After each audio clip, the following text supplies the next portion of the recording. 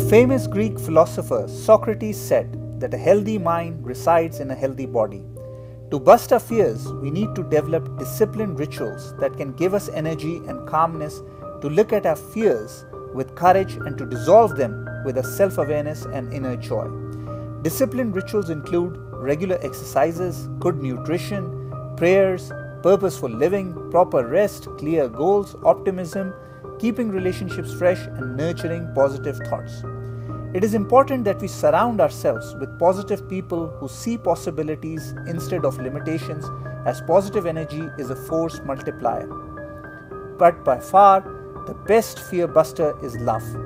Those who love others and themselves cannot be fearful, as there is no place for fear in an abode where love resides. Try to understand your fears and what is causing them.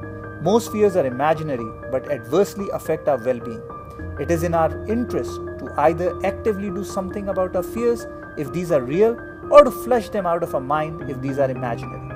Courage, love, and perpetual optimism is the soil that is conducive for growing the feeling of love and dispelling fear. Remember, we are bigger than any of our fears.